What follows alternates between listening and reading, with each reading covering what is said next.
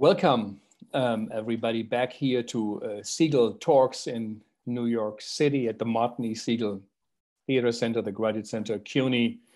Um, the Segal Center at the moment, as far as we know, is the only theater institution in New York or the US uh, creating daily new uh, programming. And uh, we don't put up uh, past performances or, or, new things on video. We think it's a time to think, but also time to listen and to listen carefully and to use um, this crisis. We had Milo in yesterday who said uh, this is a tragic time in the sense of the tragic time. It's a real crisis. It's for thousands of years we went through this, um, but we have to uh, take it serious, learn from it, and prepare. So we here have theater artists and thinkers. Uh, it is a time, I think, where we all have to listen to theater people and artists, as we say. The artists have been on the right side of history, on the right side of social progress, on the right side of also what is right. And uh, there is this old saying, if you don't know what's right or wrong, always do the right thing. The question is, what is it? What's the right thing to do? And with us, we have uh, the great Richard Schechner, a grandmaster of the our field, a a great, great thinker, philosopher of theater, but also a great practitioner whose work has changed the field, has uh, changed what we think about theater and performance. And uh, Richard uh, has been often to the Segal Center as a good friend. And um, so uh, we asked him also to come on here on, on our talks to, to tell a bit about uh, how he experiences his days, what he's thinking about, and uh, what's on his mind, which is, a, of course, a great great mind. So, uh, Richard, welcome. I'm very glad to be here. And I just want to say I, I saw and tuned into Milo Rau yesterday. That was really extraordinary. So, congratulations. The whole series is a fine idea. Oh, thank you, Richard. That, that really means a lot. Maybe someday you can have it so the uh, some of the viewers can phone in and we could do some uh, questions that come from uh, outside of uh, the room. That would be also. That's true. That we, we should do. Maybe we should have them a bit longer. Um, um, the talks. Yeah. Though this was a was a good talk yesterday, which you also can access on the archive of the Segal Center YouTube channel, but also through the great HowlRound.com, our host here at Emerson College. Um, Richard, so where are you now, and uh, how, how do you feel? Well, you know, where is one of those questions that's both physical and metaphysical and social. So physically, I'm at One Washington Square Village Apartment 1U, which is my workspace, my studio. Around here, you see a lot of books. Uh, mm-hmm. back there, let me see, uh, you see a mask. There are many masks. And this is where I write, I think. There's a, a, a, a single bed there. Sometimes I take a nap. So that's where I am uh, physically. Uh, I'm not here all the time these days. I'm also at my uh, apartment which is on 10th Street, right near the Strand Bookshop, one block south of that, across from Grace Church. But metaphysically and socially, uh, you know, I'm in a really a liminal space, you know, an in-between space. I think uh, many of us uh, socially, philosophically, uh, spiritually are in this in-between space because what the uh, COVID-19 has done has kind of destabilized uh, destabilized uh, our uh, our lives. Uh, it's complex, and I'm sure you'll ask me some questions about it, and I can elaborate. But uh, my friend David Letwin, who is a, an actor I've worked with a long time, and also a teacher of acting in, uh, in New Jersey at, at, Rutgers University, he said that this uh, what happened with the COVID-19 is it's like the the roof has been blown off of the uh, reactor, like in Fukushima, or uh, and so we see the meltdown. We see the meltdown of our social systems. Obviously, something quote natural quote the, the disease has happened, but at least in the United States and perhaps elsewhere also, the consequences of the disease are social, political, aesthetic, and in at certain levels there's been a meltdown. In other words there's been uh, reactions that are uh, uh, beyond scientific or different than scientific uh, lack of leadership in the united states for example and uh, uh, at the very top, many, many conspiracy theories showing that we have a kind of far ranging imagination about what might cause this. And also it gives play to the, to the, fear, to the fears. And uh, it also opens the possibility for true reconstruction. Whether we'll, we'll take that opportunity or not uh, remains to be seen. Uh, where I think in the, where, how would Brecht put it? We're not at the, we're past the beginning, but we're not yet anywhere near the end. We're approaching a series of middles, or my friend Victor Turner, who talked about social dramas, We've had the crisis, which has, uh, uh, we've had the breach rather, which is the introduction of this virus. And we've had the crisis, which is the dispersal of this virus globally. And now we're thinking of, uh, you know, redressive action. What are we going to do about it? And uh, the ending of this social drama phase, the fourth one is integration or schism. In other words, either we will find some new way, some different way uh, to go on with our social, political, and uh, aesthetic arrangements, or we'll split. Uh, because one of the consequences that's happened, and even this morning, uh, uh, Donald Trump has said he's going to stop immigration to the United States. It's kind of a hollow statement since there isn't any immigration to the United States at this present moment. Uh, all flights, pretty much all flights have been canceled anyway, but it's an added kind of statement of uh, intense nationalism. And uh, that's one of the questions. Are we going to go forward after this with a kind of global set of cooperations deeper than we've had? Or are we going to go back to uh, the balkanization of the world, in which uh, strong nations uh, remain uh, in their own gated communities, weaker nations are left out to hang out to dry, et cetera, et cetera. And, you know, uh, uh, although I'm a critic of many of the practices of globalization, I'm a supporter of the underlying idea of a single world, uh, of a diverse world, of free movement, et cetera, et cetera. So uh, I do think that we're at the cusp now of whether that idea is going to go forward or whether it's going to be, I won't say stopped, because I think the arc of history is very clear from smaller social organizations to larger ones, from uh, tribal groups to uh, communities to uh, states to nations to United Nations and so on. The arc is clear, but it may be a 200 year dip in that. You know, the arc of history is also a very funny arc. It doesn't go like this, it goes like this. It's only when you get far enough back that it looks like a smooth, a smooth arc. So there are many, many uh, questions. So uh, I spend part of my day thinking about that, of course.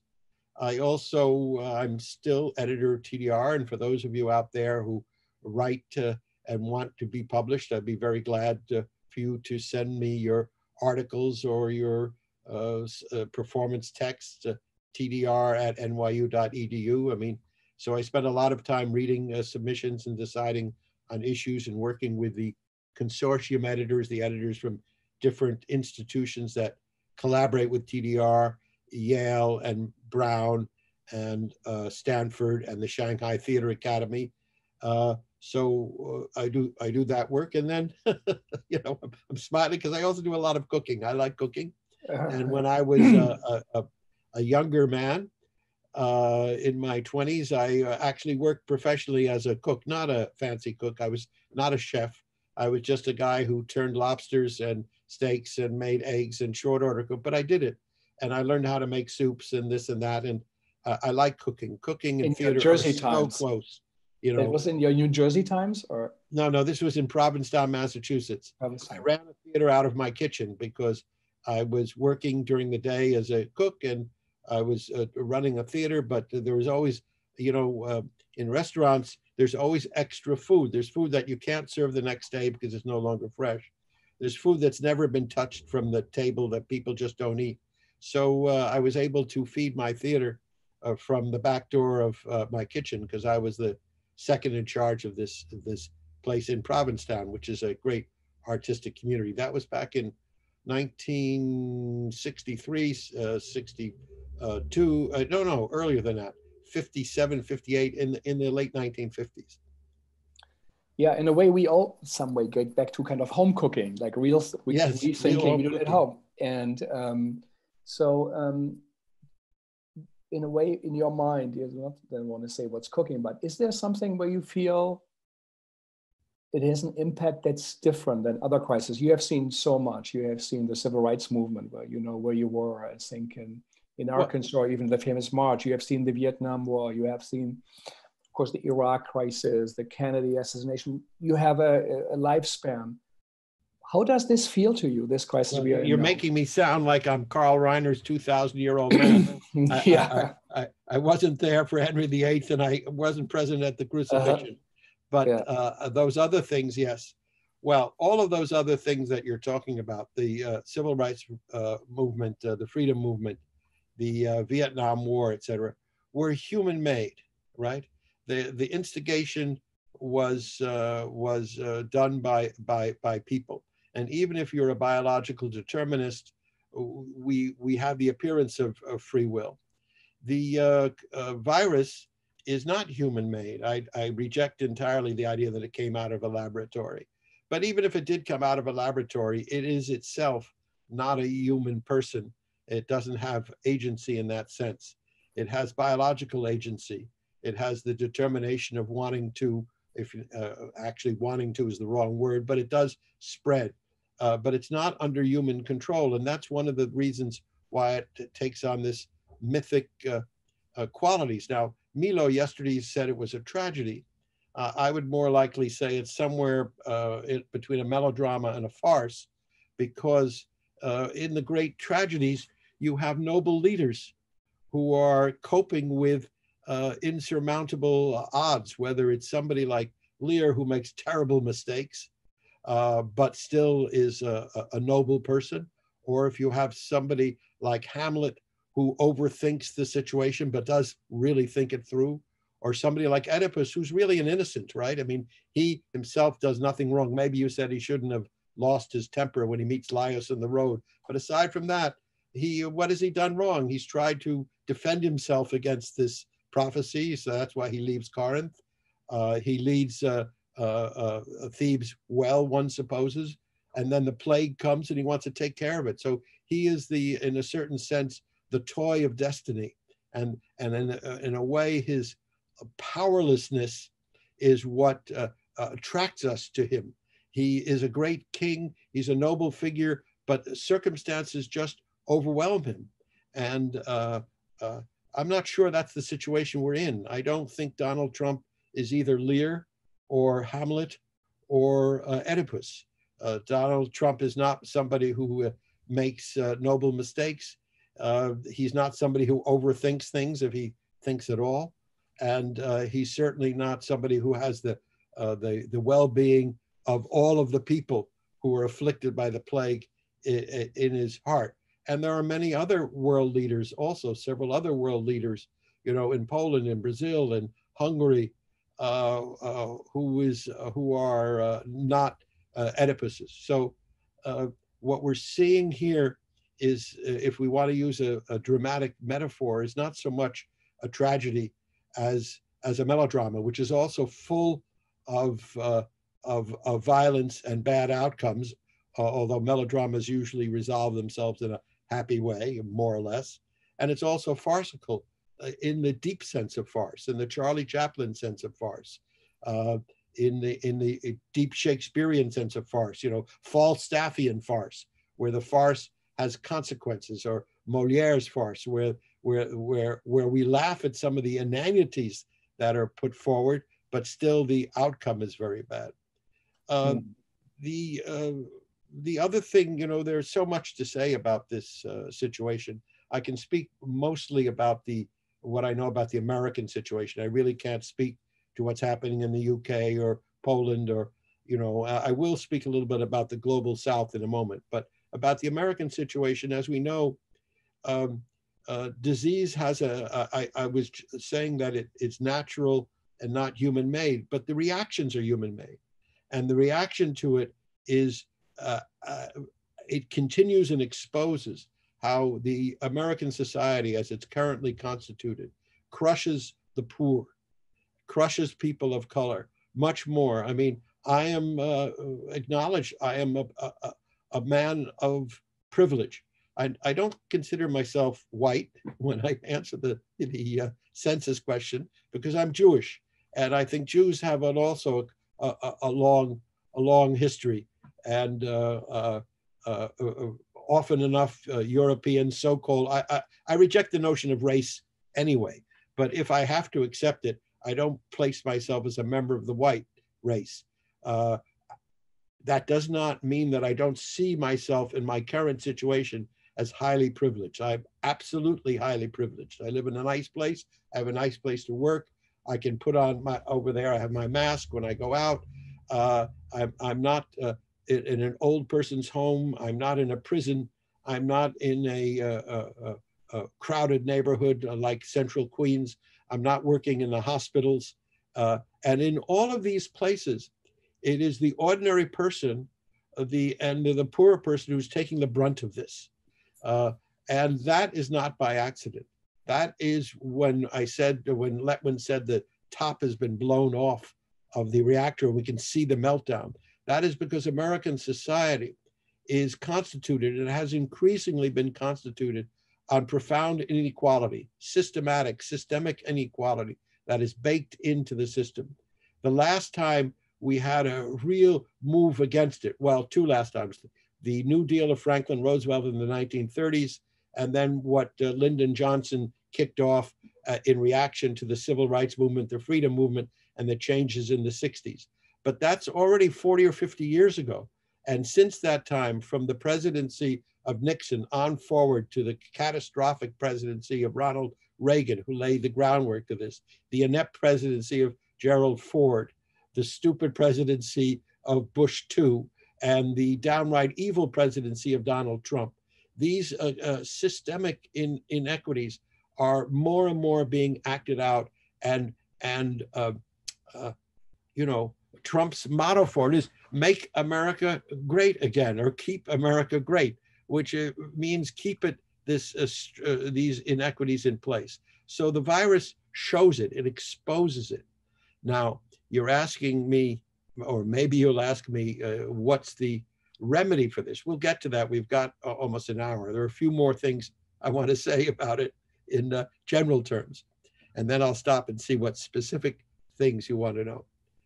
Uh, this, uh, having said all that, this virus is not the big thing. This virus is really the little wave. The big one is the climate change. It's behind this virus. So this is like one of those early tremors that seems to be big on the scale, but it's not. Uh, 30 or 40 or 50 years from now, but slowly, the large uh, uh, uh disruption will come when New York will not have 250,000 cases and 15,000 deaths, but be under 10 feet of water, where Amsterdam and London will have disappeared, where uh, Bangladesh will be flooded out, et cetera, et cetera, et cetera. You know that scenario. So now we're getting a kind of uh, pre-taste uh, in fast motion of what's coming at us in slow motion. And the astonishing thing is this pre-taste in, in fast motion has generated a response of $2 trillion from the American Congress, daily press briefings by the president, all this attention. Nobody is paying attention to climate change when the virus goes away and people go back to normal, they'll still say, oh, it's not happening. Oh, forget about it. While the amount of disruption that we're suffering now, the amount of death, the amount of misery, uh, the waves of people who will come from the global south uh, because of food disruption, climate and, and drought, et cetera, et cetera, is, is, is incalculably greater than we're having now and, and just as inevitable. So if you want to talk about tragedy, if you want to talk about, uh, you know, uh, the oracle, the oracle has said to us, this is coming. And here is a little taste. And you can mobilize for this preview, as it were. You can mobilize for this instant shock. Why can't you mobilize for the great thing that's coming? And what is it? What do I mean by mobilize? First of all, of course, to uh, uh, forget about oil, get as quickly as we can off of that. One of the uh, good things, and maybe if there is a God, this God, she is telling us, look how clean the air is in Delhi now. Look how clean the air is in New York. You know, so why can't we only have mass transit and electric vehicles? Why can't you know take climate change seriously and stop polluting the atmosphere? Take ch- climate change seriously and uh, make preparations for the times that we're going to have to move millions of people, uh, et, et cetera, et cetera. So there is, there is a, a warning.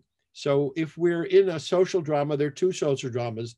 The, the mini social drama of the uh, COVID-19 uh, uh, uh, epidemic, pandemic, and the larger drama that is unfolding in slower motion, but with just as much, even more uh, horrific consequences down the road. Yeah, that's quite an uh, quite an assessment and coming from you, and uh, uh very very serious. I, I, I, I want to say one more yeah. thing. Mm-hmm. So, so if I, I said that the uh, the virus in the United States has uh, is aimed at the poorer people, uh, it's working itself out in that way who do not have uh, the option of spacing out for six feet, you know, in, in tiny little apartments, who have to go to work, et cetera, et cetera, et cetera. Uh, the, the, other, the other thing is that there are, uh, there are huge epidemics, not pandemics, operating in the world today, cholera and malaria being two of them, who are killing several million people a, a year, you know, many more than the COVID-19. But because these uh, uh, uh, uh, epidemics are in the global south, in poor people, we have gotten used to them. We say, oh, yes, malaria. So, you know, oh, yes, cholera and diarrhea, you know, simple, simple diarrhea kill all these children. So we, we have kind of accommodated the, uh, the uh, death by disease that takes out people in the global south, that takes out people who don't have uh, proper plumbing, that takes out people in the mosquito area.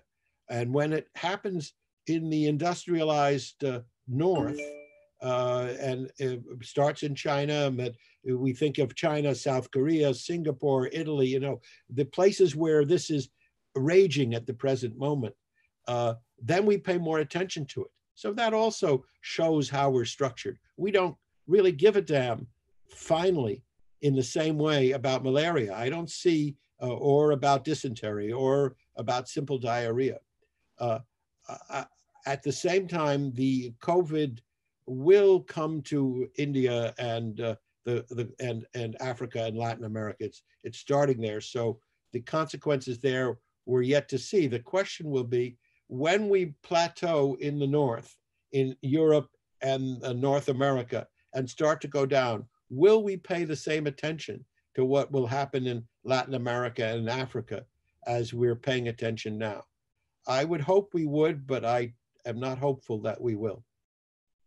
So your prediction is that, as someone said about history, you know, it's important to study history because you learn that people forget about history. So do, do you, so you think um, well, Marx will... said, you know, the first time it's history, second time it's tragedy, third time is farce. Yeah, so you think interpretation, it's a farcical time. Milo said it's a tragic time. I'm not sure if he hinting to the consequences that he said it's a tragedy, but you are right. And uh, and so do you think uh, from your life experience, this rapture, what we experience, which is real, I think, as you said, things have already changed. Often, you know, revolutions, you know, come, but things already have happened before that the revolutionary moment uh, comes but do you think it will be for the better, or what is your what is your what is your evaluation? Will well, again, I have a, a, short view and a long view. Yeah. Uh, uh, the long view is that everything is for the better, even if the mm-hmm. human being species disappears from the planet. Somehow, we uh, I, the older you get, you know, in a strange way, uh, the last phase of life is a kind of uh, conflict between despair and wisdom. If you're not going to be mm-hmm. in despair about what happens, then you have to get wise about it. And the difference between despair and wisdom, despair says, ah, it's all gone to shit. Nothing is good. I'm tired of my life. I'm tired of you having your life. Wisdom says that the long view of history is that a life or whatever it is, or even non-life perseveres. The really long view perseveres. So these are little, little uh, uh, boop, boop, boop, in that huge trajectory. You know, already uh, science tells us, and I uh, subscribe to it, that the universe has been in existence 16 or 17 billion years. Think of that 16 or 17 billion years. Now, that may or may not be so. We don't know. We can't verify the Big Bang and all, but we know pretty well that the human species, modern Homo sapiens, have been in existence only 250,000 years. I mean, there are earlier species, proto-humans, uh, a couple of million years ago. Uh, uh, the uh, you know the the, uh, the creatures Australopithecus, et cetera, et cetera. But modern humans, like you, Frank, like me, like the people tuned into this, we've been around only a, a quarter of a million years. And I've been uh, thinking recently and writing about uh, the Paleolithic period, which is like 50,000 years to 10,000 years ago, long, long before there was Greece, long before there was Egypt, you know, 10,000 years ago is when it ends.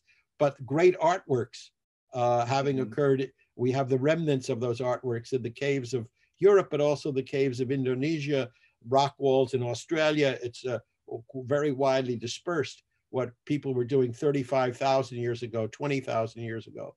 And they were making art and they were making performance because this art is not a gallery art. You don't, you can't go into the cal, uh, you know, the, the uh, uh, uh, Lascaux and Altamira and Chauvet, those places are not art galleries. They are places where people made art as part of a performance complex. The behavior is evaporated, but the remnants are there. It's a kind of action painting uh, not Jackson Pollockian, although some of it is, and there are the handprints. There's the sense of action having gone on. So within the frame of that history, we're also going to be okay. But in the frame of the immediate history of the world since the Renaissance, in other words, the world since Europe expanded and colonized most of the rest of the world, the world now bouncing back, basically led by China, uh, which is uh, uh, now a, a, hybrid uh, civilization. Because China was Marxist under Mao. It was his view of Marxism, but it certainly wasn't Confucianism as such. It was a hybrid. So China has uh, uh, emerged as a kind of uh, resurgence, and and it, and it is with its Belt and Road policy going to be on the world scene, global scene for the next few hundred years at least. It has a kind of long view of history.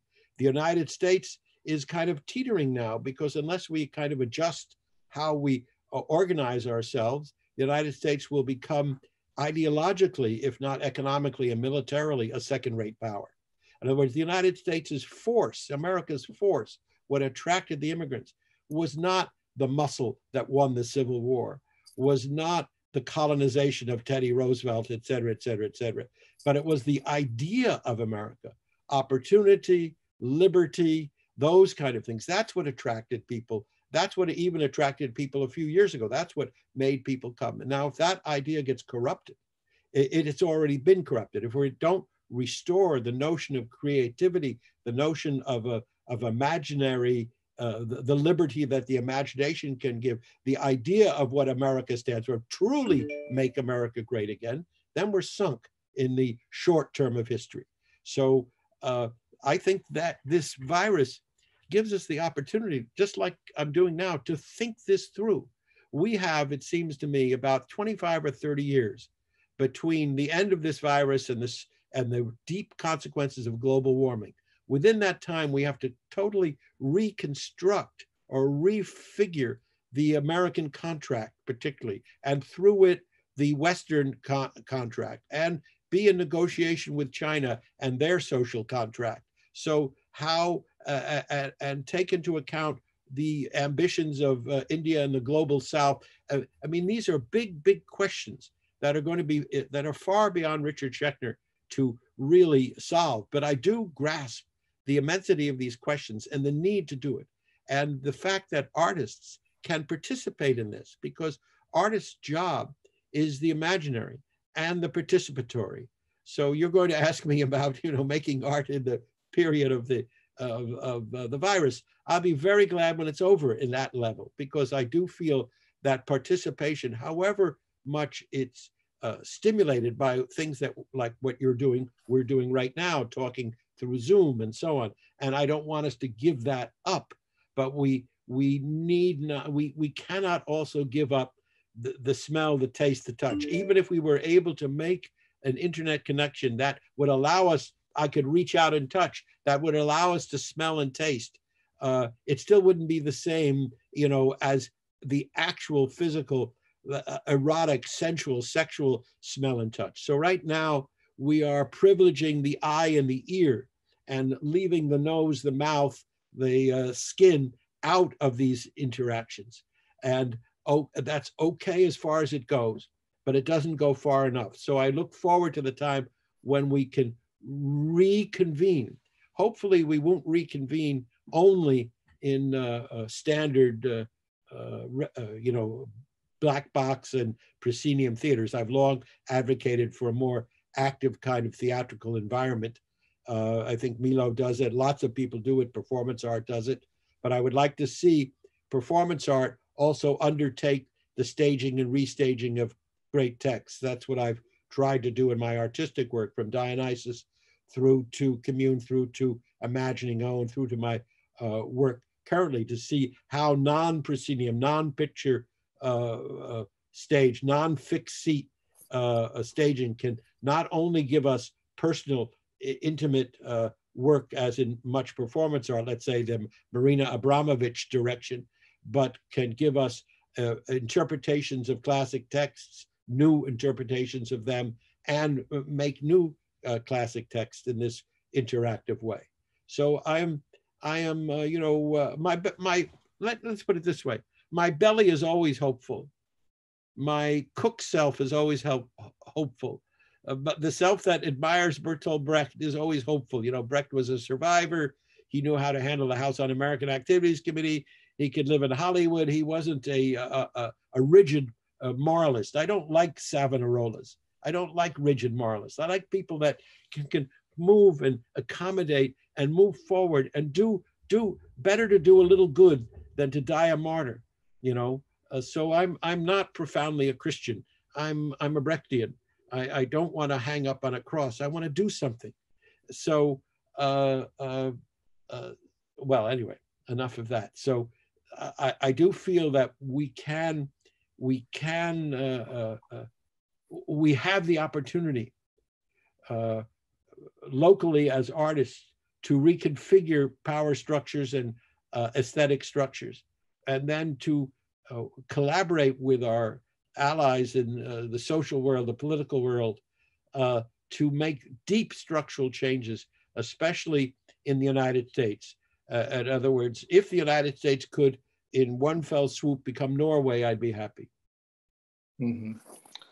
Is uh, someone who really uh, has an overview of, of, of, global theater through your practice, uh, through your teaching, but also through your publishing. I think you have come across every significant, I think, uh, movement artist.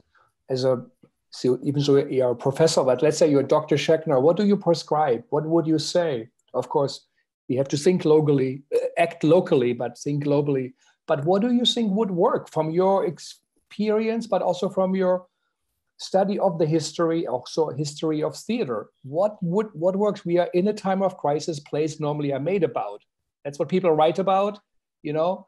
Uh, but now we're in it, and we don't know. But it's not a Netflix drama that has an end, season one, two, three, and then all this nothing changes.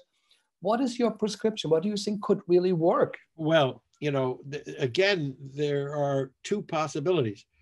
At the immediate time when we're in quarantine, we have to uh, work the, way you're working now. Like uh, this is the second time I've made this kind of appearance. Uh, last week I was uh, participating in a festival in uh, uh, Petersburg.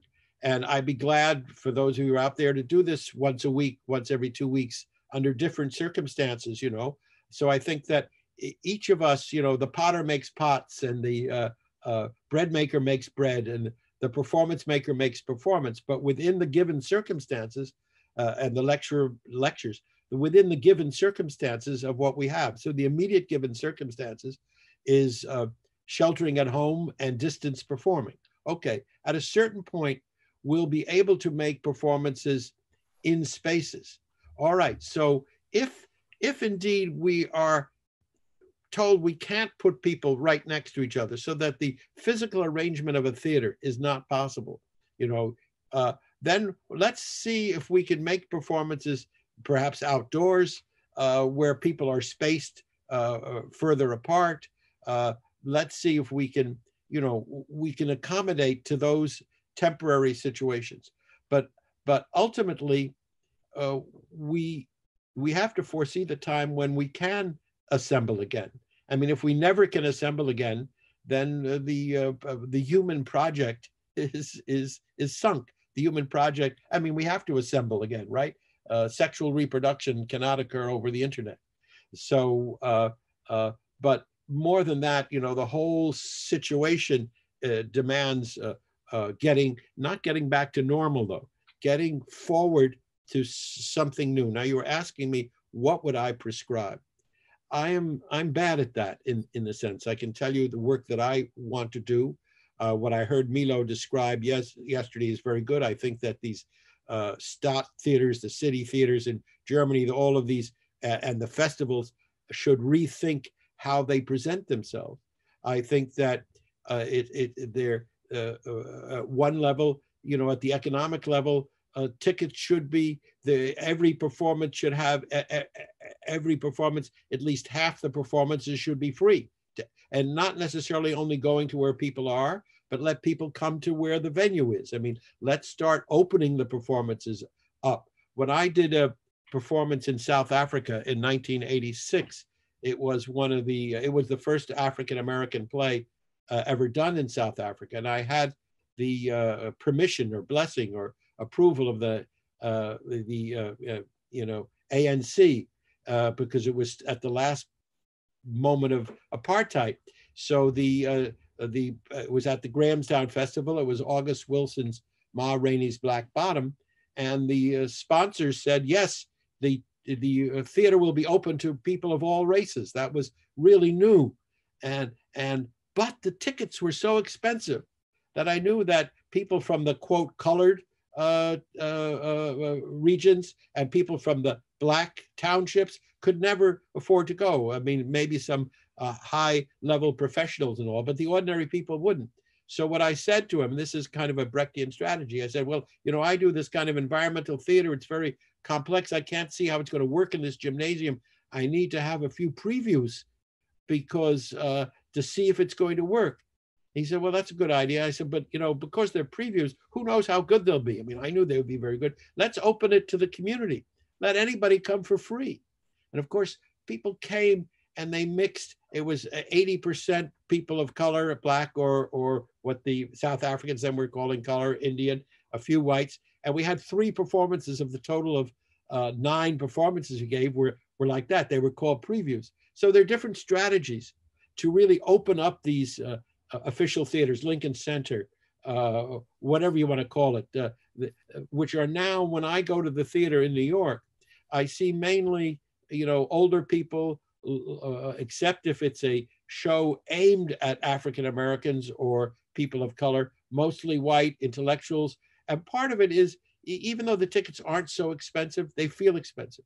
So we, we need to have a kind of a, a certain number of performances absolutely for free that would bring people in. I like the idea of going to the community, but I also like the idea of traveling, of having people from different communities, having, like like uh, bringing people, so that there's a, a, a mix.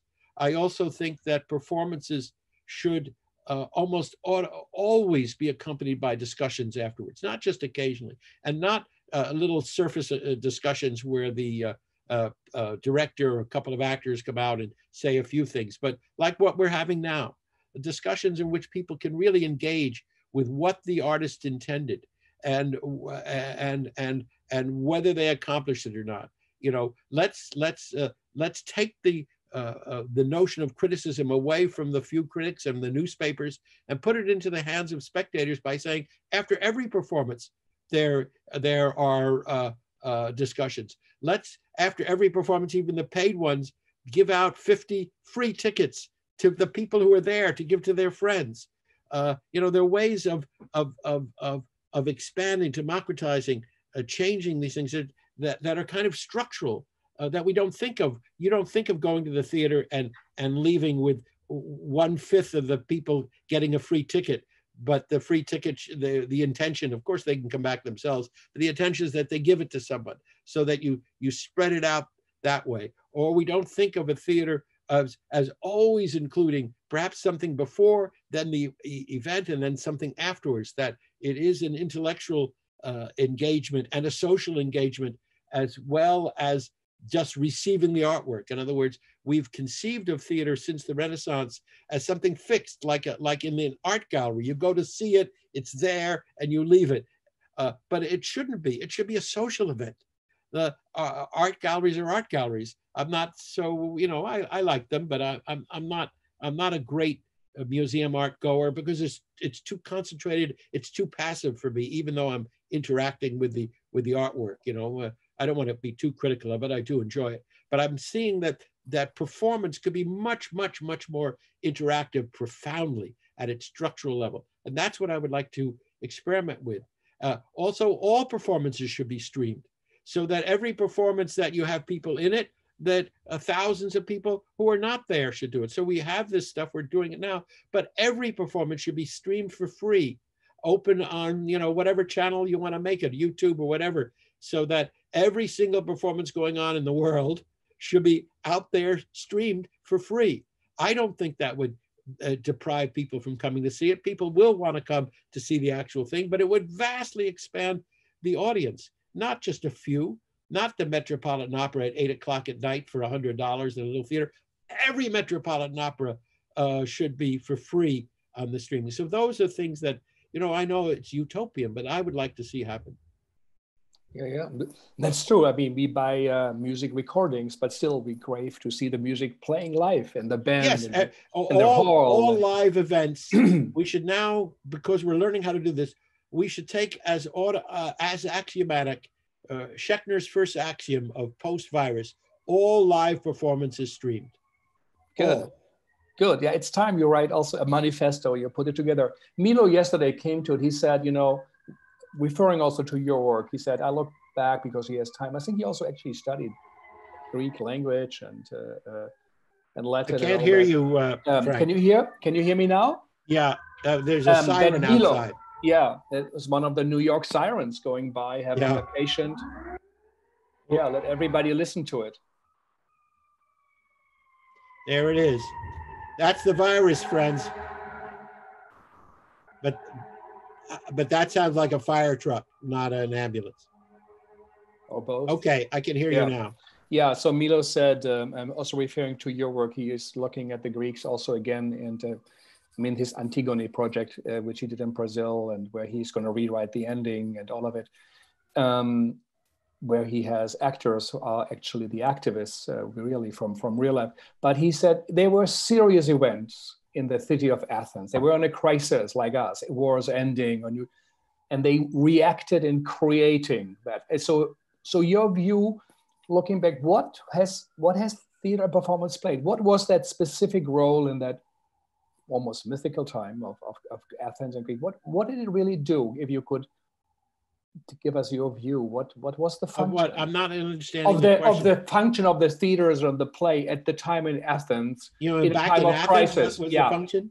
Yeah, in the time of the crisis, because Milo said they created performances. Well, I'm not so sure that the that, uh, end of the fifth century, you know, when when Sophocles wrote, uh, uh, uh, you know, he wrote those plays in different in a different order. Uh, I think Philoctetes uh, was his last play. At any rate, when he wrote Oedipus, I'm not sure that Athens was, quote, in crisis. Uh, Athens, uh, you know, uh, uh, the because after the fifth century came Aristotle, you know, the plays were still performed for a, a couple of centuries afterwards. So I don't know what crisis Milo was talking about. There were the uh, continual wars between Athens and Sparta, but Sparta was basically victorious.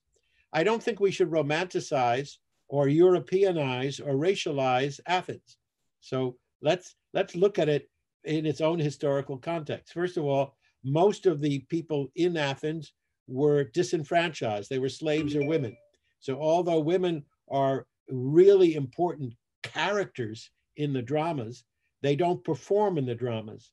I'm not sure that they actually attended the performances. They certainly were not political players directly. So that is an interesting question, the answer to which I don't know. Why are women so important in the dramas when they were not so important in the society? What was going on that we don't know? I think that opens a great question, or maybe some uh, classic scholars out there who know a great deal more about that period than I do would tell me about the function of women. But there, there are, as best I know, there are no real Antigones or Medeas or Clytemnestras, uh, you know, or Phaedras in Athenian society at that time. And also there were many slaves. Then there's a great book, I've forgotten his, his author, but it's called Black Athena. And part of the thesis of Black Athena is that Athenian society was not, was uh, largely influenced by uh, Egypt. And Egypt was Nilotic, not Arabic at that time. If you look at the statuary of the pharaohs, uh, you know, what we have, the painted uh, uh, sarcophagi and things, they're brown skinned people. And maybe they were even darker and they have uh, full lips and full noses. They don't look uh, Middle Eastern. They look more from the bottom part of, of Africa coming up. And remember that Luxor used to be the capital of Egypt, way down the Nile River. And then they moved north to where the pyramids are. And my theory about the pyramids are that in Luxor, in the Valley of the Kings, all the pharaohs were buried inside the mountains. Then, for political reasons, uh, Egypt moved its center north to uh, around where Cairo is today. And but the people were still Nilotic. They were not modern Middle Eastern people, and they didn't have mountains to build the kings. So they built pyramids, which are perfected uh, artificial mountains, so the kings could still be buried in the mountains as they were hmm. buried in the mountain down in Luxor, and that there was a, the Black Athena says that this civilization uh, uh, came around to some degree up over through Turkey and around and down through Macedonia into Athens and up through the Mediterranean. That Athens was a much more Africanized uh, society than we want to have it now. That the Athens in our imagination, created by Renaissance European scholars, is painted white and is made European and made, we're thinking of it as the beginning of of Europe, but maybe Athens was a much a, a more a colorful in the mm-hmm. cultural sense as well as the so-called racial sense than than we conceive it now, and uh, that these uh, these uh, we there's a lot we don't know, you know. We do know that also uh, uh, Athens was reconceived by the Romans, by the Latins, and their origin myth. I happen to be at the present moment one of the things I'm doing during the uh, uh, this time of, of, of, pause and reading. I, I read the entire New Testament. I had never done that. And I'm halfway through the Old Testament, but I'm also reading the Aeneid of Virgil. And so the, the Roman story of their origins is a very interesting story. It's Aeneas flees Troy, which is in Asia Minor, in current Turkey, certainly not uh, Greece, and comes and spends time with Dido in Carthage in Africa right? The place mm-hmm. where later Hannibal would come. Hannibal and from, from Carthage, he moves north to Latina, as it's called. It. He moves to Rome and founds and founds Rome. Aeneas founds Rome. That's the story that Virgil tells, the, the imaginary that they wanted to have. So their imaginary is Asia Minor, Africa, Rome, not Greece, Rome. Rome swallowed Greece, and we get it from the Roman perspective. Greece did not form Rome we that's the myth that we want to have uh, uh, that is created by Renaissance. So there's a lot that we really don't know, and I think that history by people who are much mm-hmm. smarter and more versed in the language uh, need mm-hmm. to rethink. But I don't think that uh, the Greece of the tra- tragic of the fifth century, uh, the century of Plato, not Aristotle, the century of Sophocles, Aeschylus, Euripides, and remember Sophocles outlived Euripides by one year, so they were really contemporaries. We think of them Euripides coming later, but no, he didn't come later. He was he was younger, but Sophocles lived to be 96 years old, and he wrote plays until he was in his 90s. Philoctetes is in his 90s. Uh, uh, Oedipus and Colonus is very late also, or maybe it's Oedipus and Colonus that's the last play, one of those two plays. At any rate, they're contemporaries.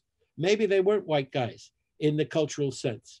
Maybe they were, something else. Maybe in the society that they envisioned, women were very important in, in the imaginary, even though they weren't very important uh, uh, socially or politically in the actual society. So there's a lot to know there. And I, I, uh, I, I, would like Milo to tell me what the crisis was Good. in fifth century Greece. I don't know of any.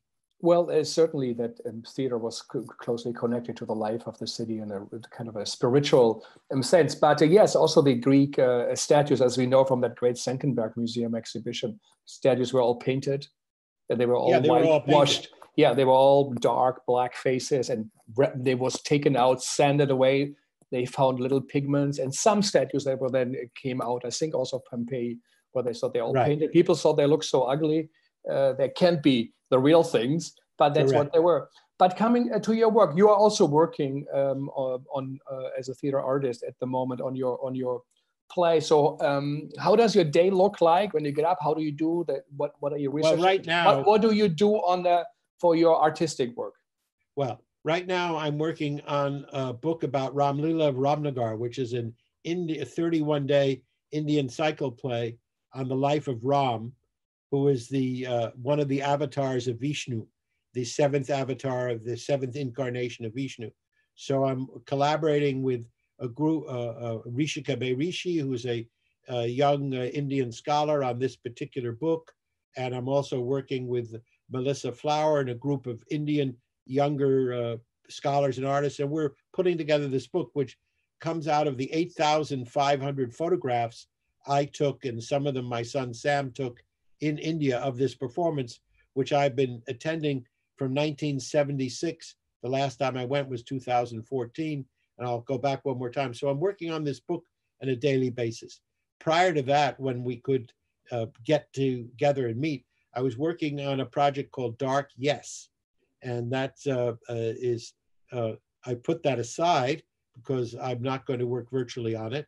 Uh, but it is a uh, it has four basic uh, uh, text, performance text. One, of course, as always, is the life of the performers I'm working with. There was a, a group, some of whom I'd worked on with Imagining O, which was an earlier performance. We can talk. About, you saw it. I, you know, Imagining O. So some of those people are working with me, and some new people.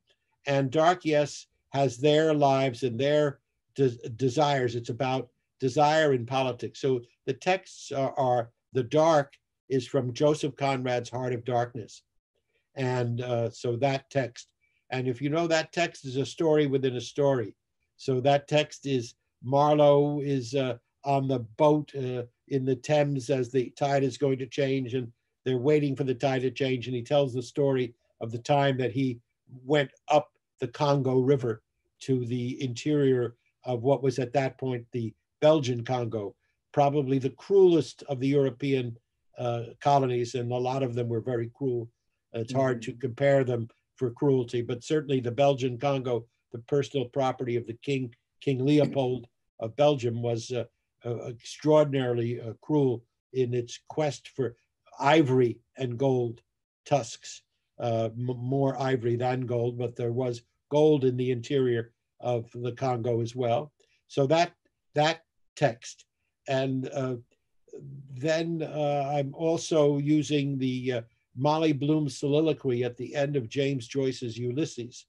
And uh, that's where uh, the, the whole novel Ulysses is a kind of take on the, on the Odyssey of Homer, but it's Leopold Bloom instead of Ulysses, and it's different bars in Dublin and places in Dublin that he goes to rather than the uh, spots around the Mediterranean that Odysseus did and Penelope is his wife, Molly, waiting at home. And the end of the book is a chapter, is a, is a long monologue, her speaking. Of course, it's a man writing a woman's voice.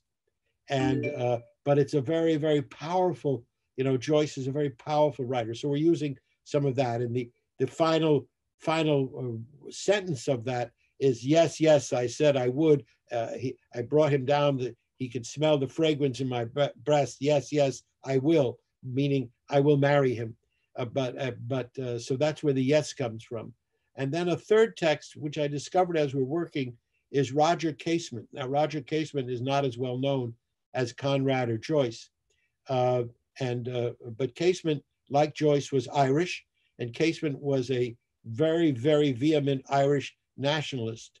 Uh, he was also uh, gay, so he also went to the Congo, and he wrote to uh, Conrad and Casement had a correspondence about the Congo. A lot of or some of what uh, uh, Conrad knows about the Congo comes from Casement. Now, Casement was hung by the British at the uh, uh, in World War One because he wanted the Germans to deliver arms to the Irish so that the Irish could uh, be successful in their rebellion against the English. His reputation has now been uh, largely recuperated, but he was hung as a tried and hung as a traitor. But part of the trial is uh, about him being homosexual and homophobia, mm-hmm. uh, because he Casement kept two diaries, the black diary and the yeah. white diary. In one of the diaries, he wrote his anthropological studies and his reports and so on. In the other, he wrote about his personal life, which was a lot of sexual encounters with very young uh, uh, uh males, boys in the Amazon, really, yeah. Amazonia. Which is, is, is, your, is Corona changing that? Is the well, uh, well let changing? me just say this: yeah. that the Amazon is to Casement what the Congo is to uh, uh, Conrad. So the mm-hmm. Amazon is also up river of a great river, the Amazon River and not the Congo River. So I'm putting all those together. Now, what did you ask about the? Uh, is, is your work? Do you feel there's a change, or in that work, or well, you no, I, just I, go I deeper into the Corona time? Does that influence now what you do, or you feel it well, is, uh, it doesn't influence Dark Yes yet because I stopped working on it before the virus. So mm-hmm. it wasn't the virus that stopped me. I worked on it for a year last year. And then in the spring, I decided to do this book about India. So mm-hmm. uh, definitely the uh, experience, whatever will happen on the other side of the virus, when I return to that artistic work, it will inf- inflect it. It has to inflect it. You know, uh, an artist makes work out of both what is, you know, Brecht again said, you want to build a house, use the bricks that are there. So the bricks that are there are available text, of course, we know that, but also the performers, but also the creator's own experiences. So we've all gone through this. It's a kind of a, an initiation. We don't know what the outcome will be. So of course it will affect what I'm doing. The real question would be, is it affecting how I'm working on the Ram Lila? In a mm-hmm. way, yes, and in a way not, because that's a traditional performance.